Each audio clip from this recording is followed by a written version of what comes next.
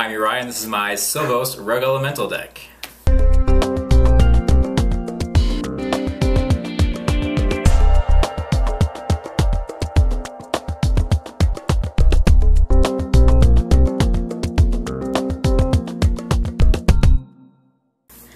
Alright, this is my Silvos Rogue Elemental deck. It originally started out as Rofellos when he got unbanned and then he got rebanned, so he's no longer Rofellos.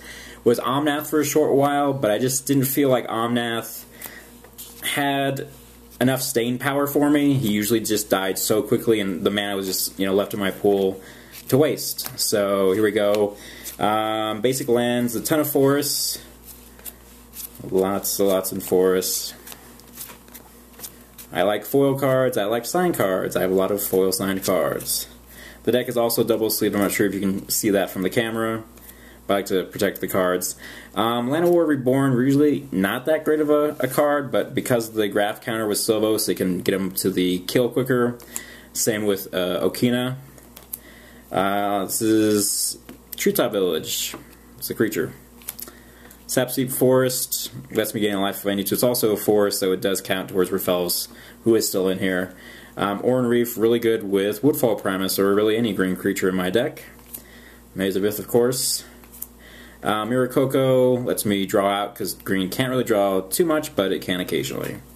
Uh, Wirewood Lodge, still a holdover from the Rofellos deck, untapping an elf. There's also Fauna Shaman in here, so we can use it with that too. Uh, creatures, Veteran Explorer. Uh, a lot of people don't really play this guy, but he's pretty decent. He lets everyone get two basic lands into play untapped when he dies, so you know it's sort of a group hug type thing. But usually I can exploit the mana more than my opponents can. Uh, Llanowar Druid sack untap all force, so duals, their force, whatever. So it's not that great. It's probably one of the cards I would cut if I had to cut a card, but it can lead to some pretty good mana acceleration sometimes. Sakura-Tribe Elder, of course. Uh, my foil signed Rofellos, that was my general for a while.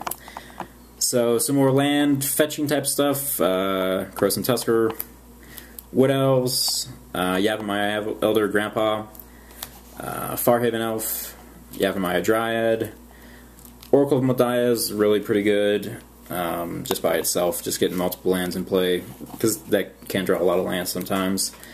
Seedguide Ash, um, most people are like, well, why do you play him? He can just get swords. Yeah, but I really don't see him get swords all that much. And I have one sacrifice effect in the deck, which is pretty good with him, so he's in there. Uh, Primeval Titan, of course, I'd like to foil, but it's not.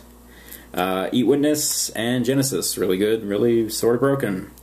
Fauna Shaman, of course. Uh, Muse, if you're playing green, this is good. Cozy, because he draws cards and he's big and he's foily. Cloudthresher, because you want to have some kind of air defense for green, which doesn't have a lot of air defense sometimes and Flash can sometimes catch people in guard when they attack with Air Titan or something. Uh, Bellowing Tanglewurm, if I really want to get Silvos in and make him essentially unblockable, he's really good. A lot of my creatures have Trample, so I'm not really sure how good Roughshod Mentor is gonna continue to be in this deck. Um, it was really good when I had him as Omnath for a while, but he may be cut here pretty soon. Uh, Wolfbriar Elemental, make a lot of mana, kick a lot of wolves out. Spearbreaker if I want to protect some of my big guys. Uh, Masked Admirers, it's rebuy backable card draw almost.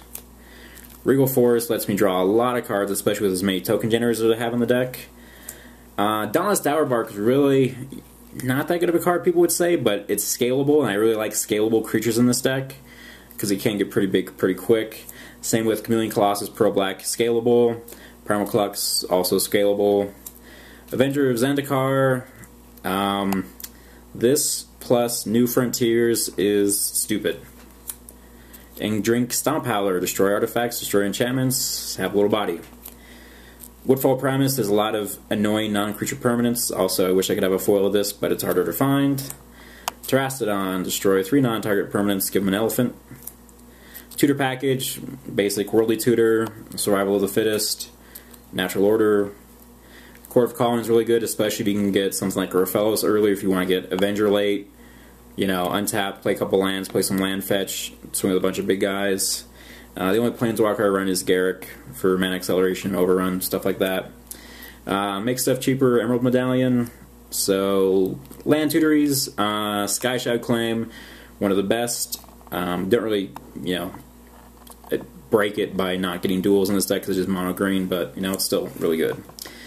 Journey was really good with Rofellos, and it's okay just by itself, but another land fetch. Mana Reflection is really good. Gauntlet for green is really good. Uh, as soon as Caged Sun comes out, this will be going out for a foil Caged Sun as soon as I get one, because I don't like making other people's stuff good. So New Frontiers, again, if there wasn't the Avenger in this deck, this would probably get cut, but untapping with Avenger in play, searching up 15 basic lands and making all your guys 15 16s, really good. Vitalize, another holdover from the Rofellos deck. Uh, instant green, untap all creatures you control.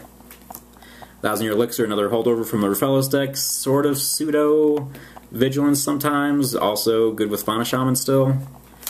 Uh, Concordant Crossroads, give everything haste. Another holdover from Rofellos deck, but also not bad with Cozy or something similar. Uh, again, Rofellos holdover. Lurking Predators, you like to play spells? I like to get free creatures. Let's do it. Altar of Dementia. This is really one of the most underused sack engines, I think. Or not sack engines, but sack artifacts. Um, sack, mill a deck equal to the number of, uh, or equal to the power of the creature that you sacrificed. This makes top of deck tutors like the Mirage Block tutors worthless. Oh, you just Vampiric tutor? Great, you just lost your life. I'm going to sacrifice my token, and you lost your card. Oh, you have Liliana Vess, and you just spent two counters, uh, loyalty counters, getting a tutor card? Great, it's gone. Um, yeah, if you have a lot of meta where your opponents are playing a lot of top of deck tutors, um, or even if they have like Sensei's Divining top, like if they top wrong and don't have a way to draw back, boom, it's gone. So Altar of Dementia, pick it up.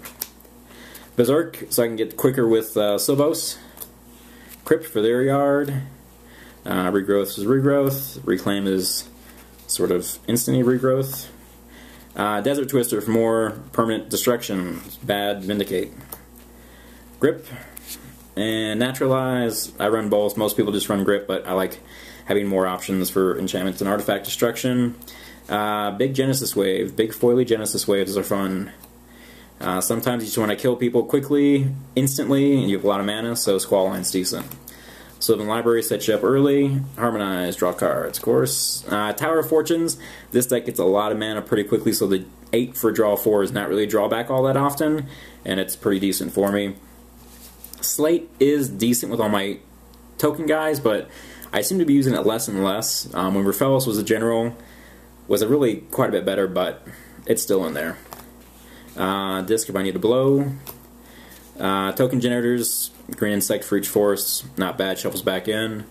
And Howl the Night Pack gets some 2-2s for each force. So there we go, Silvos. Thanks for watching CMDR Decks. Please subscribe and favorite.